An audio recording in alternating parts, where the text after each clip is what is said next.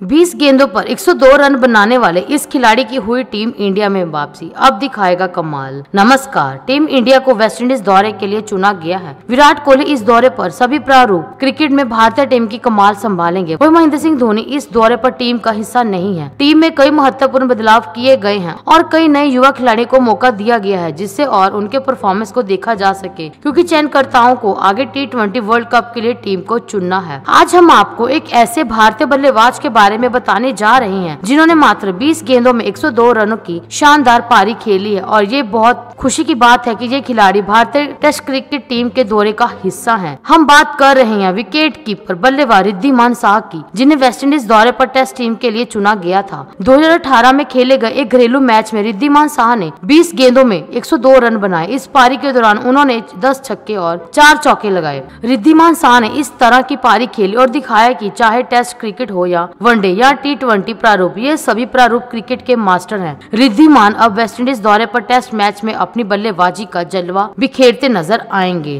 दोस्तों, अगर आपको हमारी ये जानकारी अच्छी लगी तो कमेंट करके बताएँ, लाइक और शेयर ज़रूर कीजिए और आगे भी ऐसी खबरें देखने के लिए हमारे चैनल को सब्सक्राइब करना ना भूले, क्योंकि हम हर रोज ऐसी खबरें आपके लिए लाते रहते हैं। धन्यवाद।